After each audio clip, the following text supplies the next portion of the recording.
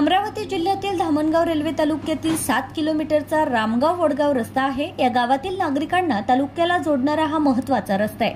मात्र या रस्त्यावरून चालत असलेल्या जड वाहतुकीमुळे रस्ता खड्डेमय झालाय. दोन हजार एकवीस साली जिल्हा परिषद बांधकाम विभागानं सात लाखांच्या निधीतून रस्ता तयार केला.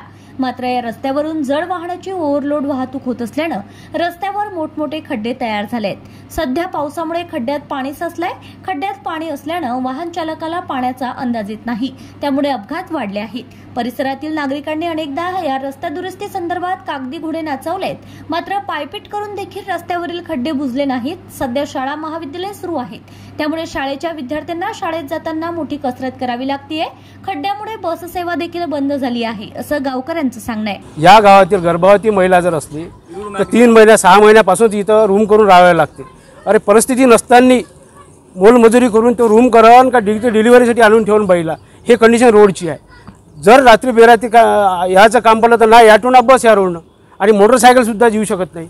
या येणार कसं? लोकप्रतिनिधींना थोडंसं सर पूर्णतः लक्ष देऊन आमचं काम करायला पाहिजे. वरच्यापासून खालच्यापर्यंत त्यांचं सरकार आहे. आज नाही कारण ते ब्युरो रिपोर्ट बातमीपत्र.